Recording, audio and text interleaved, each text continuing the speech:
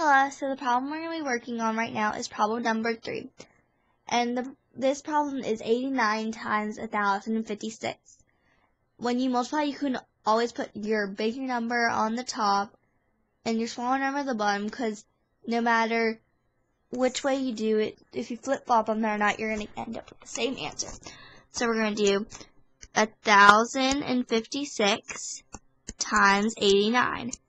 So we're going to start off with 8 with 9 times 6. 9 times 6 equals 54. So we're going to carry our 5. 9 times 5 equals 45 plus the 5 equals 50.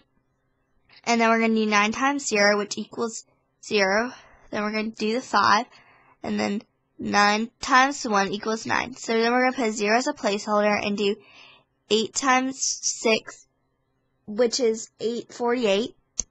And we're going to carry our 4. Then we're going to do 8 times 5, which is 40, plus the 4 equals 44.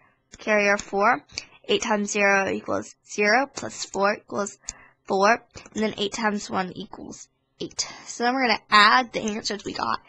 0 plus 4 equals 4. 0 plus 8 equals 8. 5 plus 9, I mean 5 plus 4 equals 9. 9 plus 4 equals 13, carrier 1, and 8 plus 1 equals 9. So the answer we end up with is 93,984.